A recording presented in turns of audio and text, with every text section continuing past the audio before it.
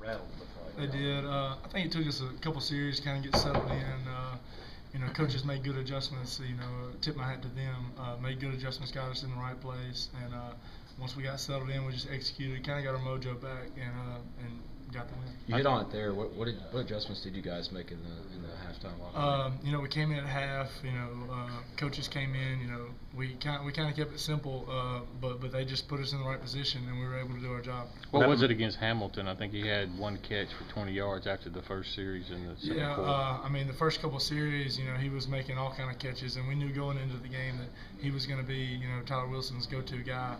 Uh, so kind of had to have awareness of where he was going to be at all times, and they just really re-emphasized that we need to know where number 11 is. Uh, but he's a great player. Did you feel anything on the field on, from both sidelines when you stopped him on that fourth down run? They, it was, it was a scramble and they measure and it comes up short. Uh, the energy, I mean, the fan base, you know, got got to tip our hat to them. I mean, uh, just the whole stadium went wild, and I think that was kind of the turning point when we just got rolling, and once we got rolling, we couldn't be stopped.